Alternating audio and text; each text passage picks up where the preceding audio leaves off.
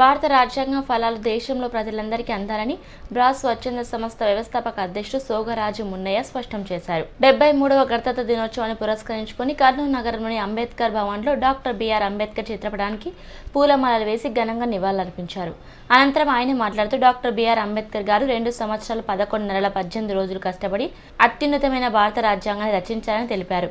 దేశంలోని ప్రజలందరికీ స్వేచ్ఛ సమానత్వం శోభ్రతత్వం లభించాలని కోరుకున్న గొప్ప దేశభక్తుడు డాక్టర్ బిఆర్ అంబేద్కర్ అని అన్నారు. డెబ్బై మూడేళ్ళ గణతంత్ర దినోత్సవంలో వందకి ఎనభై ఐదు శాతం మంది ప్రజలకు అవి అందని ద్రాక్షలాగా ఉందని అన్నారు.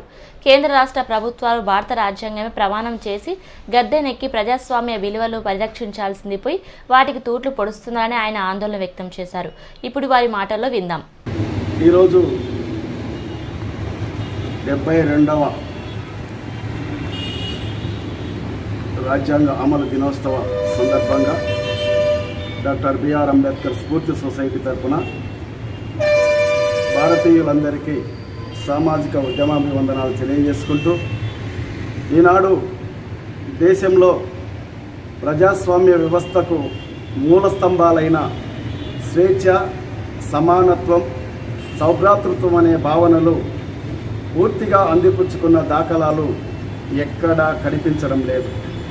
ఆ నవభారత రాజ్యాంగ నిర్మాత భారతరత్న డాక్టర్ బిఆర్ అంబేద్కర్ గారు తన జీవితాన్ని త్యాగం చేసి తన నలుగురు పిల్లలను త్యాగం చేసి రేయనక పగలనక అహోరాత్రులు శ్రమించి తన నెత్తుటి చుక్కను లక్షల అక్షరాలుగా మార్చి రెండు సంవత్సరాల పదకొండు నెలల పద్దెనిమిది రోజుల పాటు రేయనక పగలనక అహోరాత్రులు శ్రమించి దేశ ప్రగతి కోసం భావితరాల భవిష్యత్తు కోసం అణగారిన వర్గాల జీవితాలలో వెలుగు నింపడానికి రాజ్యాంగబద్ధంగా హక్కులు కల్పించి ప్రపంచంలోనే అతిపెద్ద ప్రజాస్వామ్య విలువలతో కూడిన భారత రాజ్యాంగాన్ని మనకు రచించారు.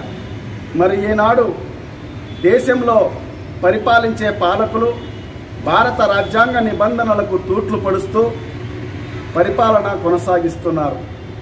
ఈనాడు దేశంలో ఎక్కడ చూసినా దళితులపై నిరంతరం దాడులు జరుగుతూనే ఉన్నాయి. దళితుల ఆడ దళిత ఆడపడుచులపై అడుగడుగున అత్యాచారాలు మానభంగాలు జరుగుతూనే ఉన్నాయి. పేరుకేమో నిర్భయ దిశ సమత చట్టాలు ఎన్ని ఉన్నా ఆడపడుచుల అత్యాచారాలను ఆపగలుగుతున్నాయా? ఈనాడు దళితులకు రక్షణ కవచం లాంటి ఎస్సీ ఎస్టీ అత్యాచార నిరోధక చట్టం ఉన్నప్పటికీ దళితులకు అత్యాచార నిరోధక చట్టం రక్షణ కవచంగా నిలుస్తుందా అన్నది మనము ఆలోచించాలి.